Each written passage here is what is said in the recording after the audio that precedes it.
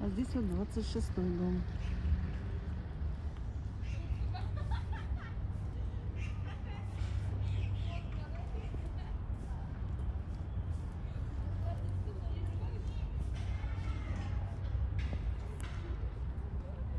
Красиво все отделано.